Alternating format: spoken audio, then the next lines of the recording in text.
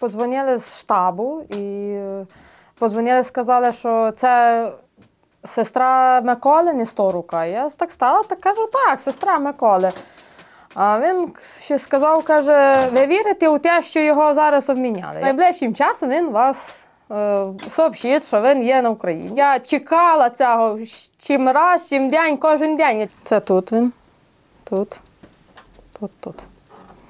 Це він вийшов з автобусу. Це вже так коло автобуса, але так засняла, щоб ветко було. Він дзвонив до мене в четвер рано. Вже я, знаєте, так і трималася вроді, бо я не плакала. Каменіла, вже так розумієте, що себе так тримала дуже, та й заговорила. Дуже тяжка бесіда. Е, щось він там мене питається, я не дочуваю, чи я не, чи я не розумію. Ну, але я мовчу, аби я його не, обра... не дай Бог, ні, ні за що не защепила. Ми не говорили рік і три місяці, ми не знали, де він. Говорив по-російськи, та що, як вони там били, вони там заставляли їх, аби вони говорили по-російськи, вони там не мали поняття це по-українськи говорити. Спати я не могла. Дві ночі. Просила Бога, аби я його ще тут дочекала видіти. Аби я його ще тут виділа.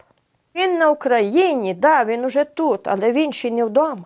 Він ще не вдома, бо то дуже далеко. Це діти їхали до нього, там його вже бачили.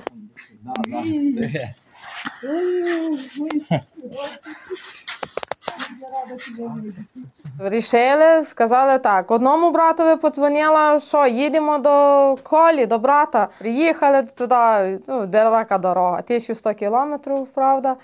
Але доїхали, то він нас уже чекав у порті, можна сказати, в тій брамі, каже.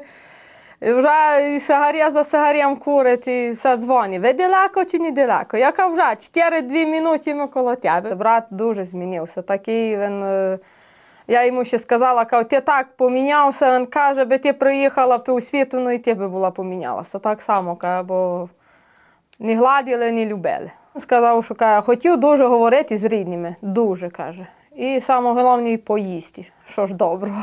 Е, Що привезли з домашнього? Бужениці, е, відбивної домашньої, котлет домашніх нажарили, сера загледіли, гледіного привезли. Брензи дуже хотів овечої би привезти. І Ну, що ще таке? Більше такого нічого, бо він сказав, що жолудки перегружати їм не дозволяється. Налисники, кніші нажарили.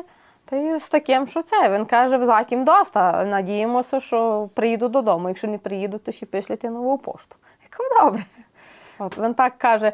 Ви знаєте, що я радий був дуже вас видіти, але я радий би був ще з вами сісти і поїхати. Отак. Якраз війна ця почалася, у нього контракт кінчився. Ну, вже там не було куди, вороття не було звідти. Так він там залишився. Потім він у серпні, у серпні був контужений, був у Дніпропетровську, там лічився, клав зуби, ну там його контузило. Е, цей.